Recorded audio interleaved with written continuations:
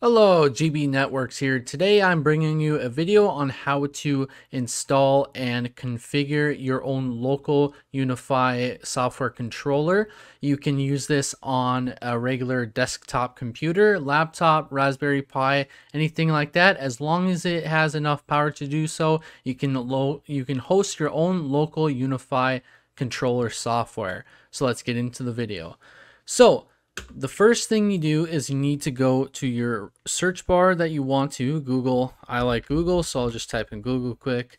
Um, and then you go to UniFi controller and it will pop up here. And then you will want to go to downloads here and it will pop up any second here.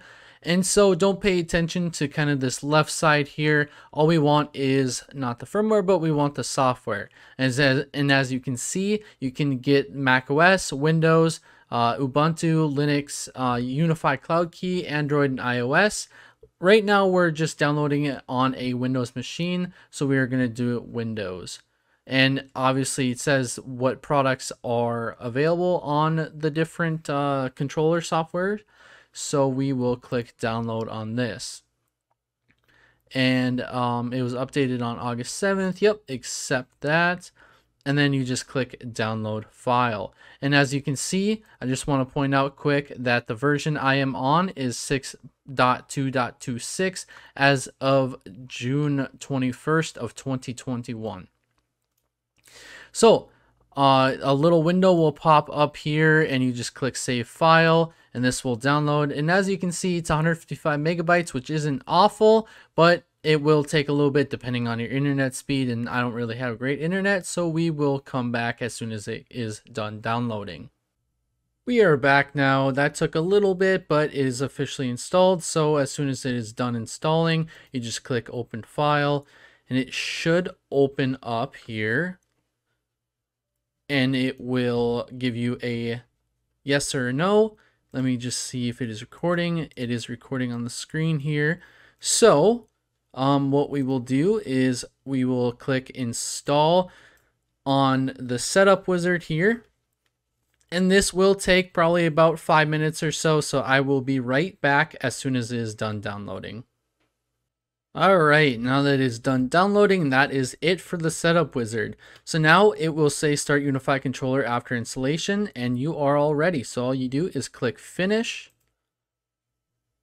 and it should pop up and now we can close this now and it should pop up on our screen here.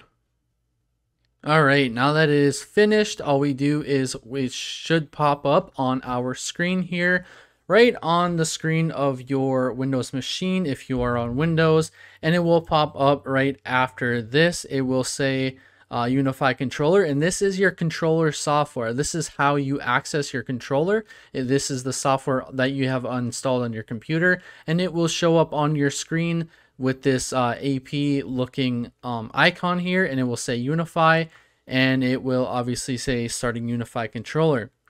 Now this It'll take a little bit, but once you do it a few more times, it'll kind of learn the settings and things like that. So it will go a lot faster.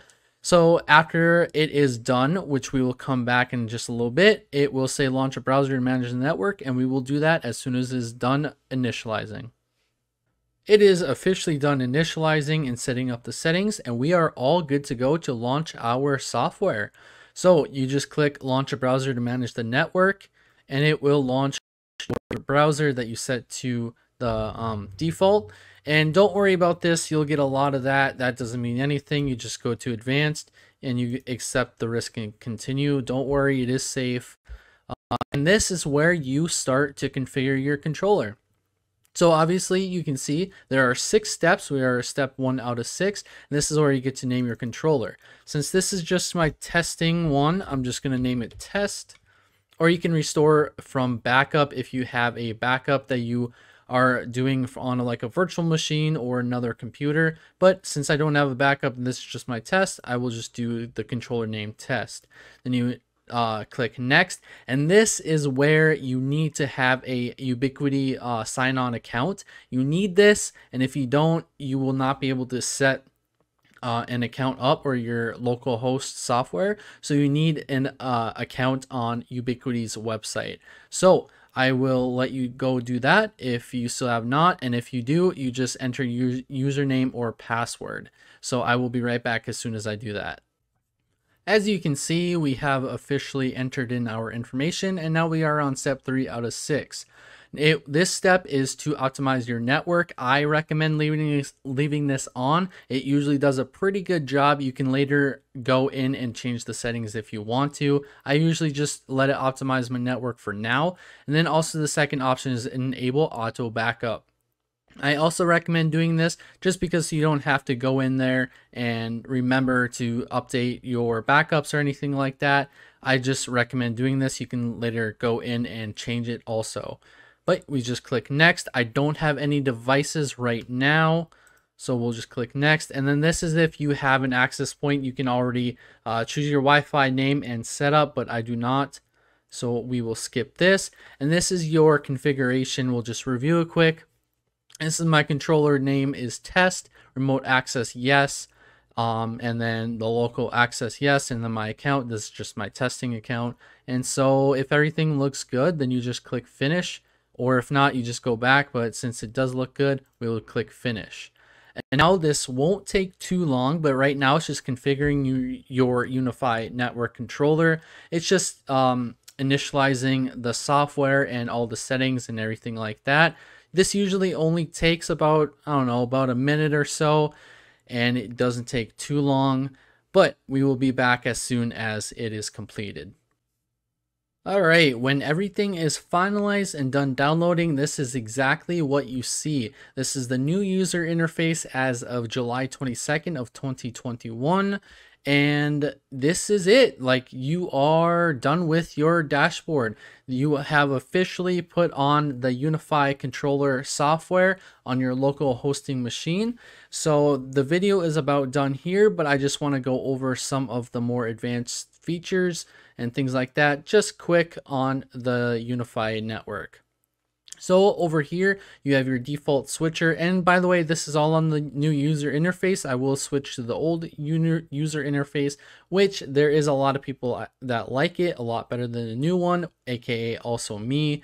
Um, and so this, you can add your sites here. Here's the dashboard. You would see all um, different things like your Wi-Fi um, channels and things like that. Your topology, your devices, which it already does recognize um, some of my devices off of my other local hosted controller. Here's your clients tab, your statistics, your insights, your alerts, and then um, here is the new dashboard. And here's your Wi-Fi network security. Your Wi-Fi, this is where you make your Wi-Fi networks. But right now we will switch over to the old user interface quick and see how much different it actually is. So it takes just a couple seconds here and we'll click out of this quick. And as you can see, it changes a lot. Like I said, this is where you get your channels, your switches, it shows you everything. And then your map, um, it would show your like your topology, things like that. And yeah, that is basically it. This it, this video is pretty simple. It just um, it just takes about maybe five to ten minutes of your time, depending on how much you want to go in depth with the dashboard and setting it up.